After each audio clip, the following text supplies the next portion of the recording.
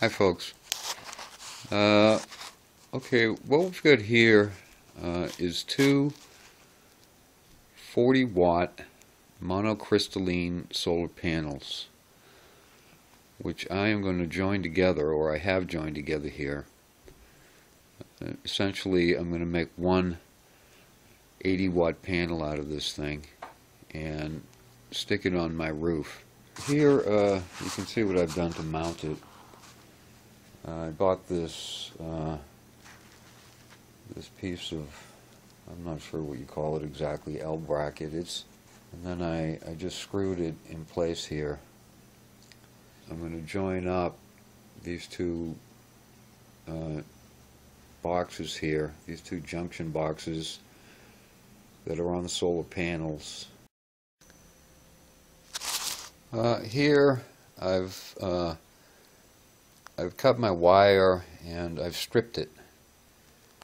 And my intention is to uh, solder the positive and negative terminals together. Now, I'm using Radio Shack speaker wire, 18 gauge braided wire. Uh, that's not recommended. Uh, it should be 22 gauge wire and the proper way to do this really is to use what they call MC4 connectors. Uh, I don't have any and I don't feel like buying any uh, since this is just a test and it's just temporary. It should be adequate for what I'm intending to do. Uh, this is going to be up there on my roof very very short term and uh, it's just basically for testing. This is not recommended to do it this way. Uh, here you can see I've got them tinned, uh, my connections.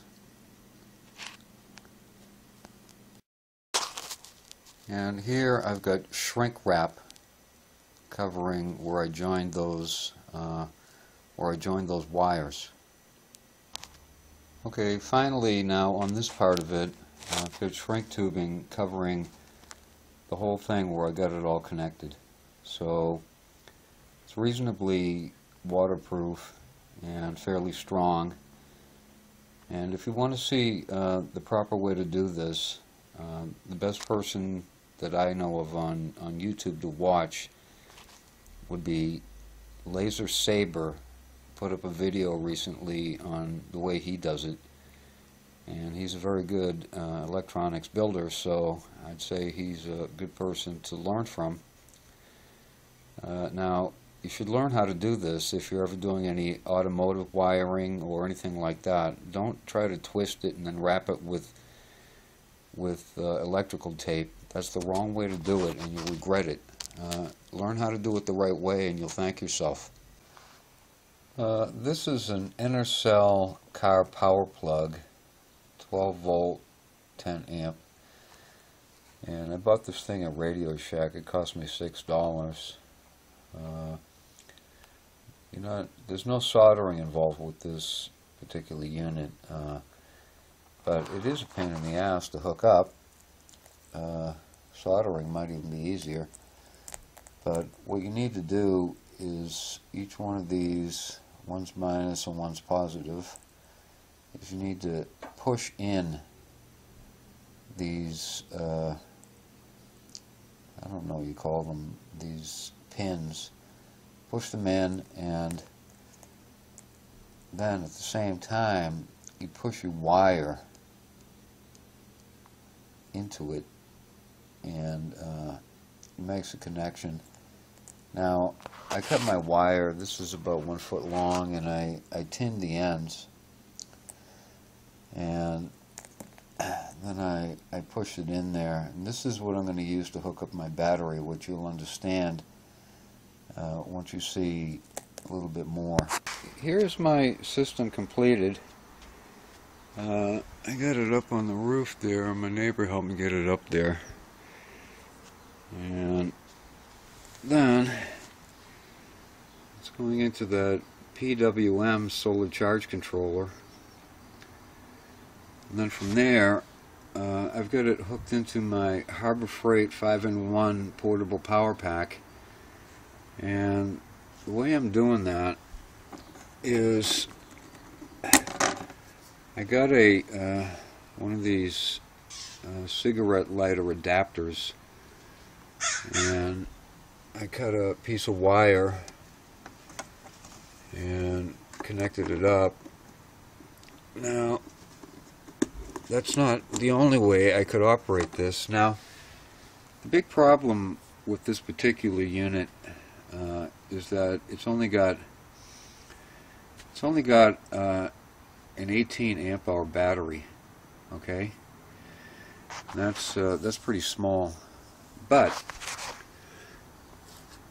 using the jumpers, I could connect up very easily to another battery. Uh, so if I got a 15, a 50 hour battery, which are pretty cheap, they're about $65 or so, I could, uh, I could have, you know, 60, 70 amp hours of, uh, of storage for this. And then uh, I'd have a very good, uh, very inexpensive, small solar power system. Now, one thing I don't have uh, hooked up here, which I've got one, and I, I may do a little bit later, is uh, this is where the power inverter would go. But this unit has a built-in power inverter, so I don't really exactly need one. Uh, this system will work without an additional power inverter. So this cost uh, 80 bucks and then I paid on uh, on eBay. I only paid about $15 for this stupid little solar charge controller. It's just a cheap little PWM but this is an inexpensive system. And then uh, the uh, the solar panels uh, that's 80 watts solar panels uh, is those things cost uh, I think they cost about 80 80 bucks a piece I think. I don't remember exactly but they were about $80 each from from eBay. And they're uh, they're fine for uh, a very inexpensive system. So uh, that's about it. Uh, I may do another video on this once I I'll get my my power inverter and hook it in there. And then uh, the whole thing will be complete but it'll work just as is the way it is right now. So I think it's uh, a really good thing to have uh, just the way it is. Thanks. Thanks for watching